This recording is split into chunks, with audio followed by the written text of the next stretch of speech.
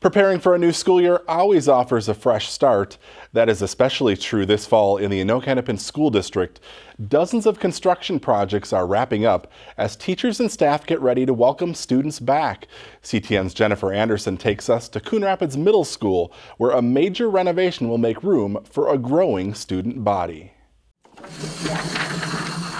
At Coon Rapids Middle School, Lizzie Higgins is moving into a classroom that didn't exist last year. It's starting to feel the heat a little bit. A complete renovation of the school's lower level will help accommodate about 450 more students than last year. With all these changes especially, we're nervous like to meet the new kids, like what are they going to think when they come into the room? Is they, are they going to feel welcome in the space? This was a cafeteria. Principal Tom Shaw says major changes happened over the summer after the district approved new school boundaries. For the first time, all students destined for Coon Rapids High School will come here under one roof for middle school. And so when they come to school, they get to go to school with that people they go to church with and the people that they're in the same sports with and really just people they see in the community every day. And they'll end up all in the same high school and uh, be part of that community. So it's really exciting. They've had to get creative with how to best use the space they have. We've created flexible learning spaces.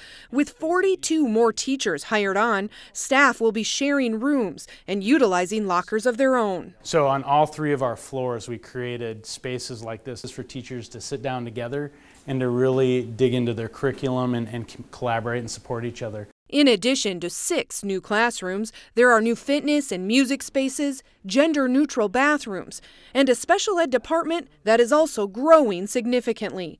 Construction cleanup will likely go right down to the wire as teachers settle in to new spaces. And that's challenging for teachers. Teachers are having to work around a lot of sheetrock dust, a lot of uh, hanging ceiling tiles, and things like that. But they'll be ready for the first day of school. We're one team, that's who we are, and together we're going to make it work, and we're going to welcome everybody to our team.